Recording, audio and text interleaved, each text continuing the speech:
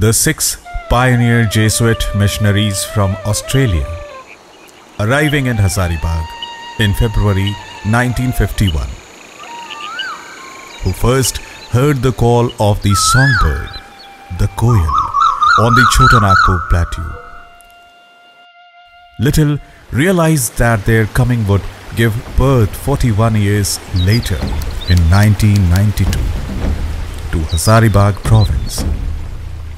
The first provincial was Father Edward Mudvasari, who succeeded Father R.C. Chacko, our last regional superior. In 2018, the province numbers 176 members working in 8 districts of Jharkhand, educating some 24,422 students in 36 educational institutions, which include Degree College in a rural area,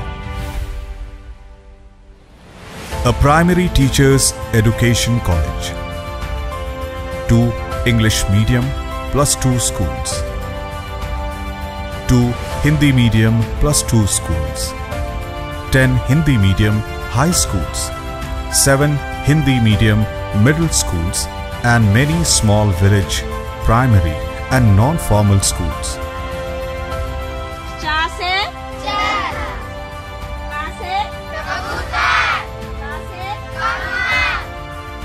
These institutions are staffed by 785 men and women.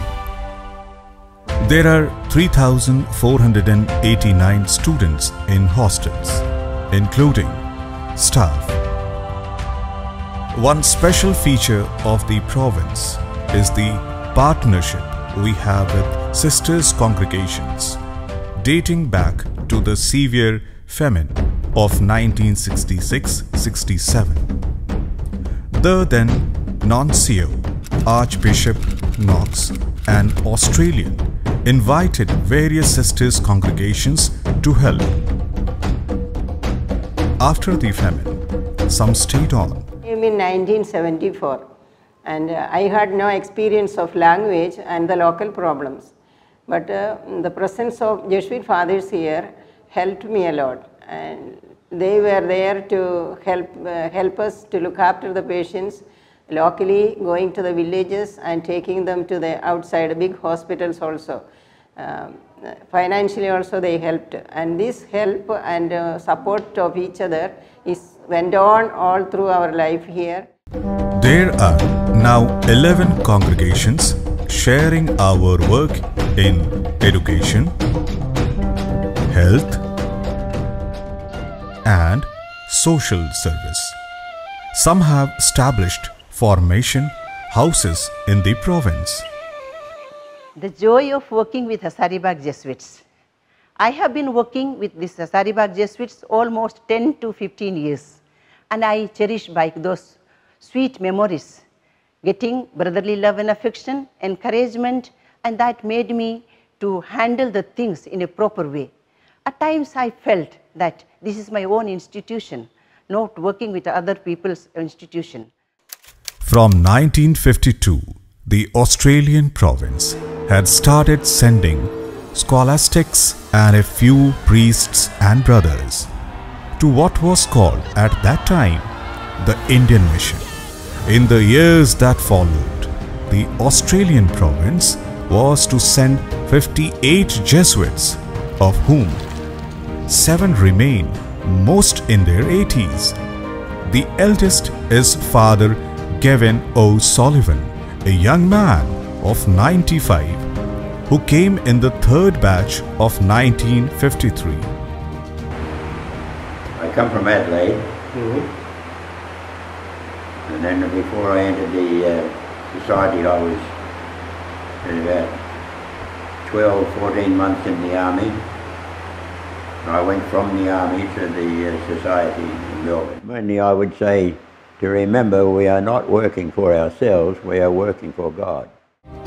It was a great joy to the fledgling mission when on June 20th, 1954, a young man named Gaudentius Gongari from Khunti district, entered the Jesuit novitiate in Sitagarha as our first local vocation. As an apostolic, he helped the first batches from Australia with their Hindi pronunciation. Years later, when we celebrated the Golden Jubilee of the first six in 2002, Gaudentius was our provincial, having succeeded Father Edward in 1998. Gaudi, as he is fondly known, guided the province into the new millennium. These are the things that I was attracted. They were young, they were energetic, they were looking, you know, working type of people, and they were so accessible. And just talking to them, as I thought, I meant, here are, here are some people who, who, to whom I can sort of talk to and I can go to, and then, I, and that was very good for me. The Jesuit novitiate in Sitagarha, mentioned above and named after Saint Stanislaus Kostka, formerly a formation house of Ranchi province since 1933, was handed over to Hazaribagh in 1992. It continues to be a formation hub, still housing a novitiate, juniorate, and tertianship. Hundreds of young men from our Hazaribagh province and many provinces of South Asia and even beyond have received their initial and final years of Jesuit formation passing through the imposing portals of SSC. The property is called a mini Vatican as some 13 congregations have formation houses on the campus, availing the help of the staff and the tertians of SSC. This is the formation house of novitiate, juniorate and tertianship, the first and the last formation in the Society of Jesus. As novices, they look at the tertians as their role models and they get inspiration from them. And the tertians play a very important role to become role models for the novices so that they get the message that the life of the society contains here in the formation house.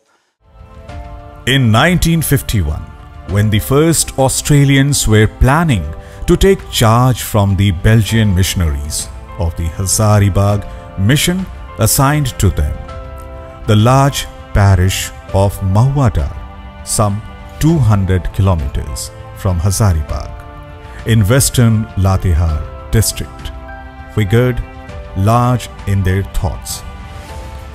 One of the first six, Father Lou Lashal, became the parish priest of Mahuadar.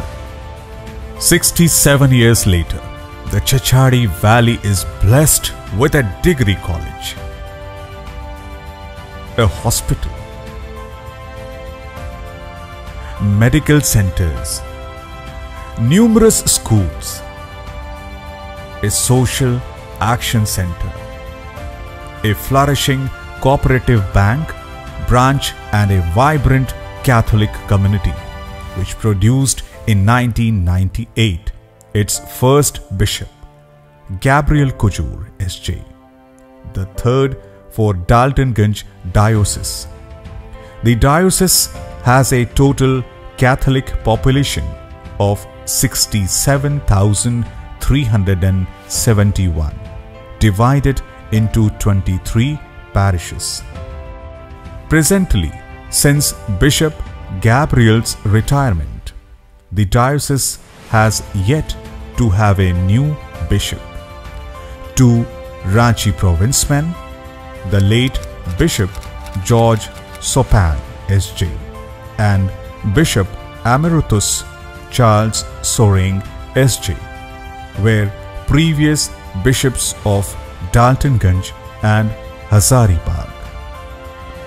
These two dioceses stand as witnesses to the tireless efforts of the early missionaries.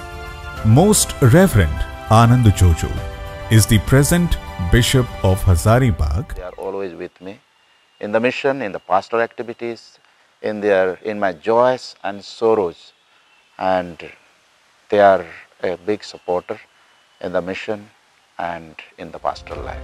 I am happy and grateful for that. with a health centers, a community come media center, a catechetical center, a minor seminary and 12 parishes.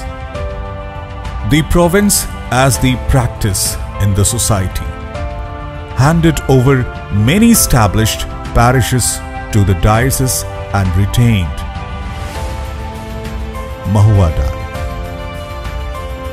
Pakripat and Borkunda and looked to do more pioneering work. A few are in the temporary care of the society at the moment. About 10% of the tribal peoples live in Jharkhand. Our state of Jharkhand has a higher than average tribal population of over 26%. It was among the larger tribes, the Urals, the Mundas,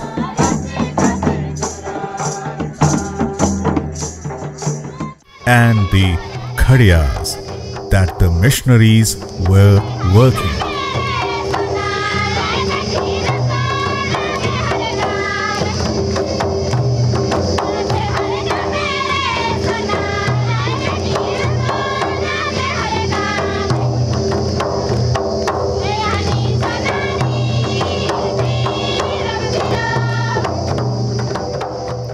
The province has only recently turned its attention to the minor tribes such as Nageshias, Baraiks, Korwas, Birjias, and the Asurs. These minor tribes are receiving much needed education.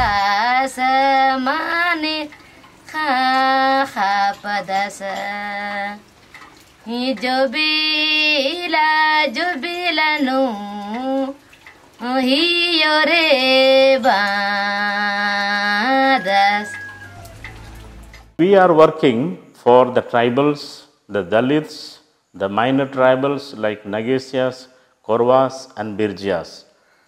So, our focus is for their upliftment, for their education. We fight for their justice and we keep building the society at the grassroots level. It gives us great joy and pride to see numbers of Santal Jesuits in our ranks. Our ministry with the Santal goes back many years. The apostolate of the Santals has focused with much success on three areas inculturations, evangelization, and education.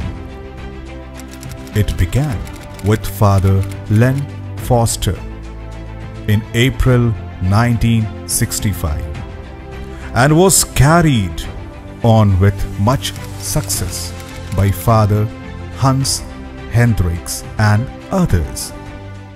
24th October 1997 was a watershed movement for the young province.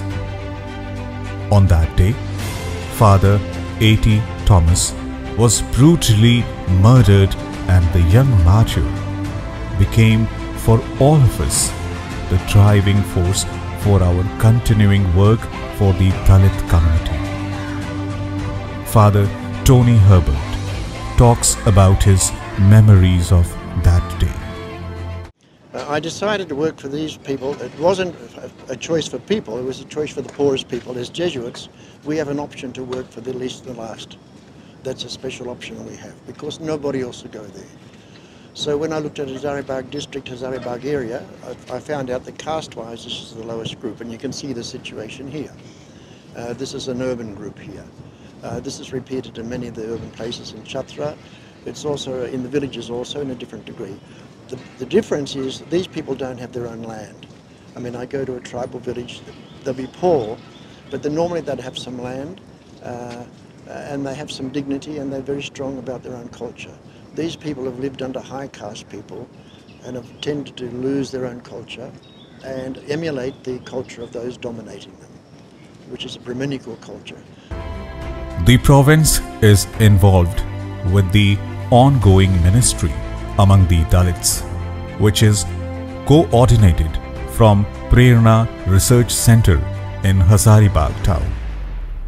After October 1997 was doubled our efforts on behalf of the marginalized and other deprived people in our area and beyond with increased advocacy, awareness programs and legal aid, inter-province involvement in justice issues such as tribal land rights, forest rights and religious freedom have been taken up with greater vigor.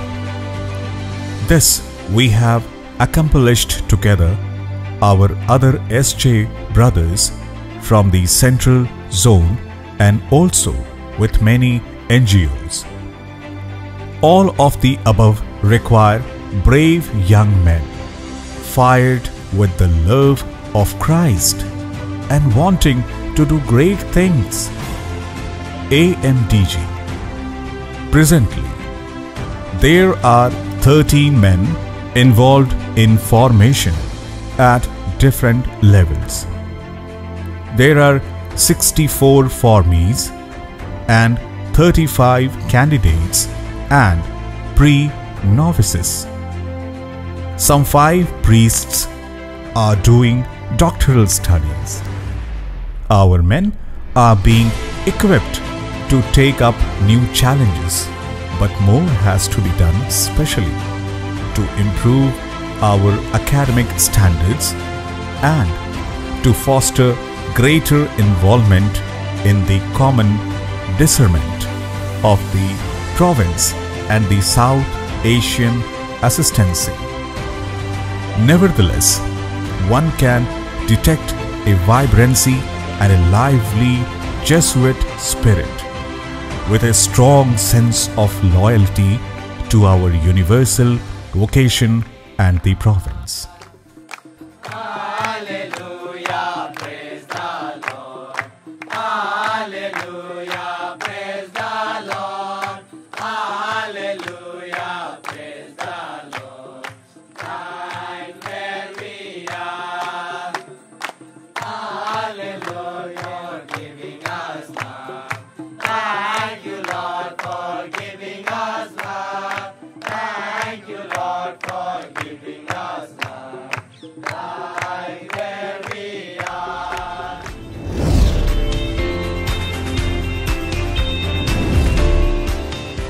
The boundary, finding God in everything. The fire that kindles the other fire. Complete renunciation of comfort. Soldier of Christ. The life of simplicity. Joy. Chosen one of God. Ever ready to serve. Ever searching for mercies. The gift of God. To be frontier. Grace of God. Learn in Jesus.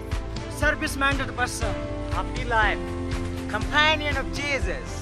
I can't express my joy. I am truly blessed. Meant for others. Precious gift. Single life. Ever to love and ever to serve. Enjoyable life. Our vocation, promotion, calm youth work is handled by Father Arbind Beck, SJ, and his companions in the field.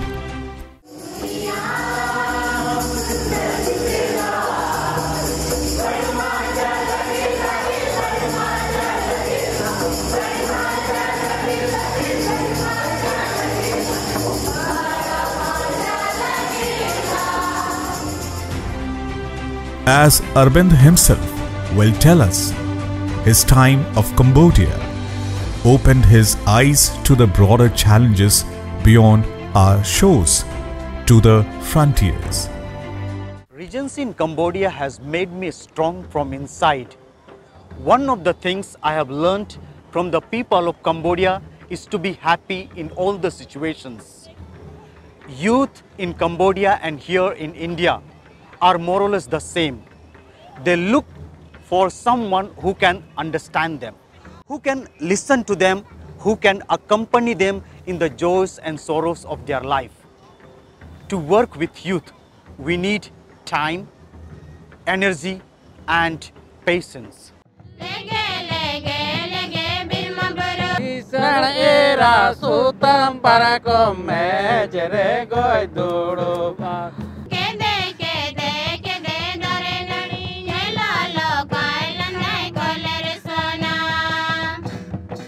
Ro agana na ki agana.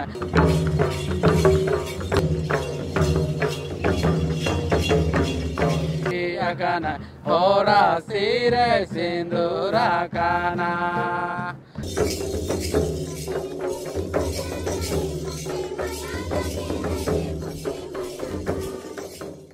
The future of the Society of Jesus in Hazaribagh depends so much in the young people. So they need a lot of training, lot of exposure, and uh, that is the way I think we can prepare them to be competent. What does the future hold? We have every reason to be hopeful about the future. It's both in our hands and God's. What a partnership!